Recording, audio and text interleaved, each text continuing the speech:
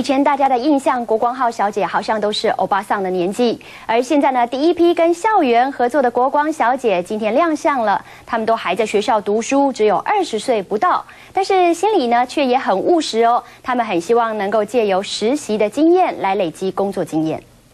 欢迎搭乘国光客运。活泼的个性，甜美的笑容，客运业者跟海洋技术学院合作，要遴选新一代的国光小姐。比照空姐的挑选水准，要掀起巴士旅游的风潮。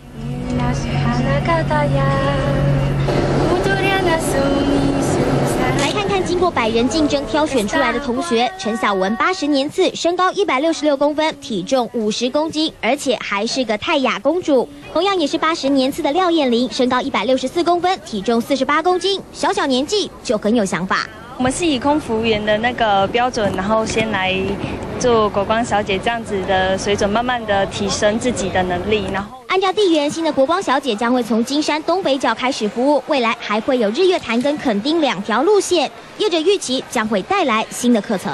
我想大概能够全年能够能够国呃国道的客运跟国民旅游能够成长两成。看好新人带动的商机，或许未来建教合作就会成为客运业纳财的新管道。